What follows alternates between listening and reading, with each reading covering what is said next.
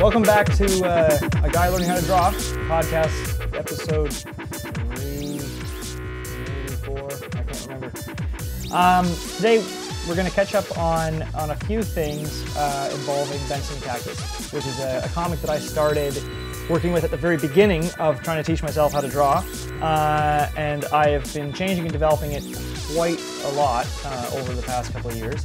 And kind of, you can sort of track my um, learning curve and my uh, change in ability and some of the lessons that I've learned along the way um, by looking at some of these pages. And by the way, if you're wondering why I'm wearing a cowboy hat, it's because I'm bald and I need a haircut and these lights above me that are the track lights in the ceiling make my head glow like a bowling ball. So I wasn't sure if I dated these. I don't think I did. These are these are the oldest uh, Benson and Cactus pages, which are actually the first um, comic pages I, I kind of tried to draw.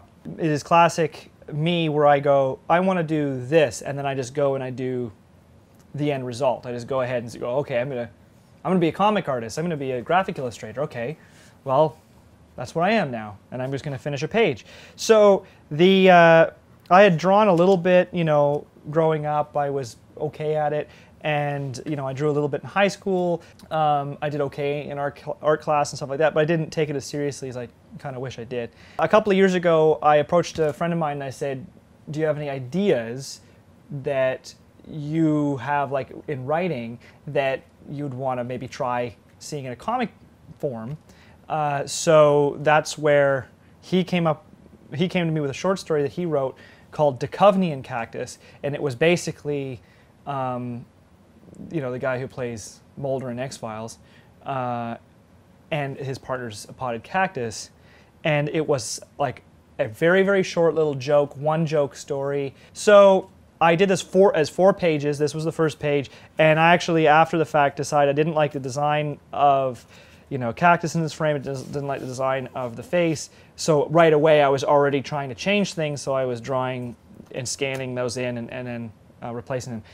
Crazily enough, I actually, you know, I sent this in to a particular publisher, and I kind of feel pretty ashamed of that because I actually thought this was good. I mean, it was the first time I'd ever tried to do anything with a brush. I'd never tried to ink with a brush. So pretty much immediately I went, okay, that was the first try. If you notice, this is the wrong size. This is the wrong format. This is actually a European format of page, but I was literally just buying thick cardboard and inking right on it, not you know really paying any attention to artboard shape, uh, format, you know layout, anything like that. I was just going, well, yeah, this obviously looks like a comic page. So pretty much immediately I started again, and I went to uh, the same boards. It took me a long time to get out of this this size. And you can see here, I, this is also a taped on, you know, trying to figure out how to draw the roof of the car um, fix. I said to the writer, this is a cool idea for, for a comic, an ongoing comic.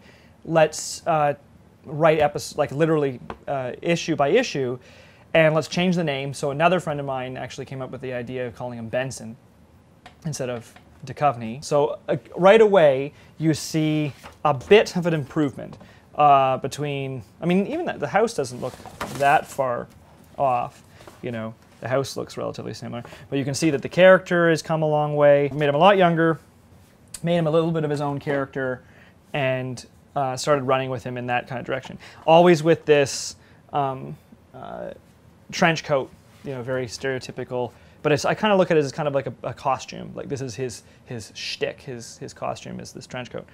Um, but I was rather happy with, with pages like this, not necessarily the vehicles, because some of them are a little rough. Again, I'm freehanding them probably too much out of my own head. I wasn't doing enough research, like go find Google Images or something to show um, this specific model of car or whatever. I was literally just freehanding out of my head. There's a van, there's a taxi, this, that, which is okay to a degree.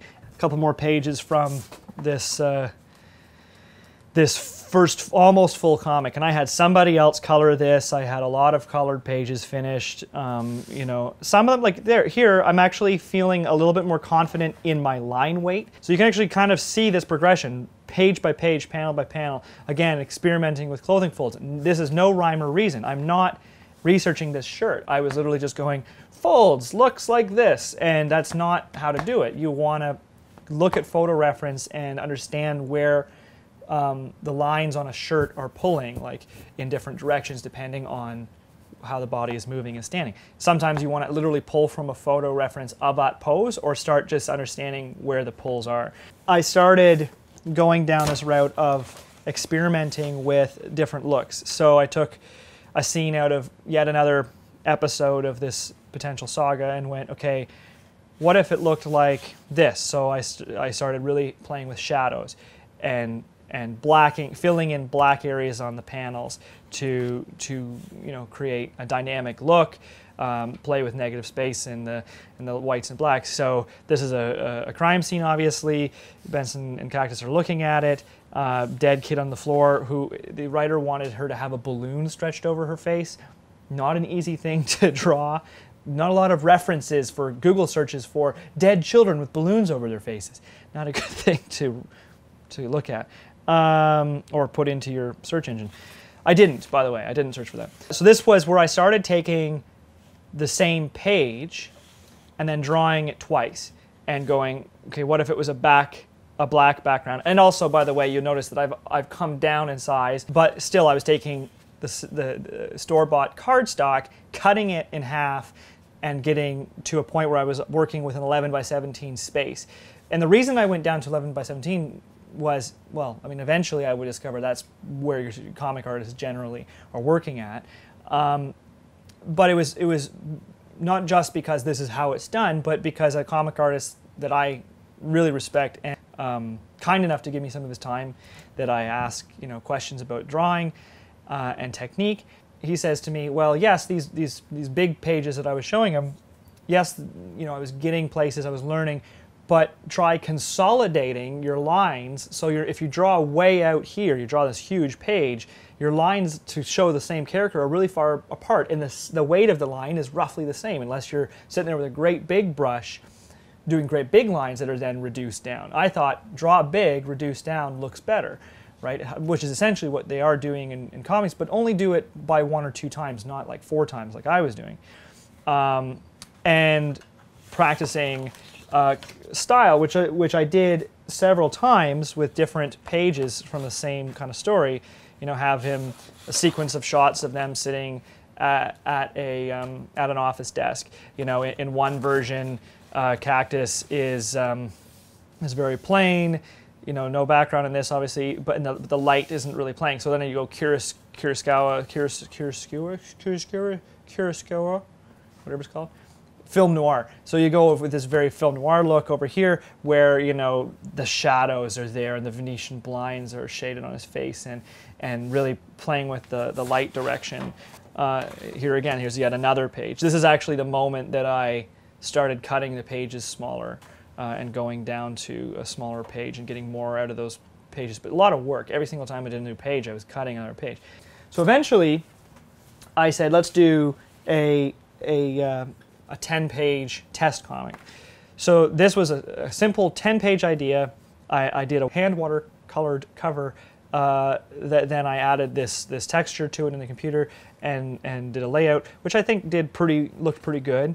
Um, and it was this was the idea was a proof of concept, putting it in you know stores or whatever. It was actually a, a you know I actually went through and did 10 full pages. Um, again, re you know, redesigning the, the look a little bit, simplifying it, losing a lot of the hatch lines, staying just with brush. Well, uh, you know, in this iteration, I colored it in the computer and shaded it in the computer, um, and then uh, then did a black and white version of it as well.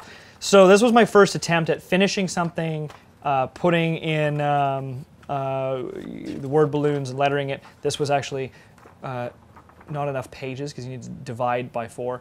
And I actually used some of the old art that had been colored and, and toned it uh, in the advertisement pages. So it's like, you know, it's, not, it's from nothing. It's just a scene from, from another uh, issue or whatever, uh, just to, to be used in that, in that way. So that 10 pages I had gotten to a specific point, and then I, I still I came away from it going, you know what? Okay, now I'm you know better because I went on and tr- tried a whole bunch of other stories, did you know, pages of fantasy, pages of sci-fi, and continued to build and, and develop that style. So here we are going to the London Comic Convention, and my business partner said, "Well, what if you, you know, dusted off this Benson and Cactus concept and actually did another, you know, hard copy book to have there?" So don't have a lot of time, so I said, "Well, why don't we take the same short story, which is like a little 10-page procedural, jokey thing, just a flavor of Benson and Cactus, and I'll just redraw it. I'll redraw the same story.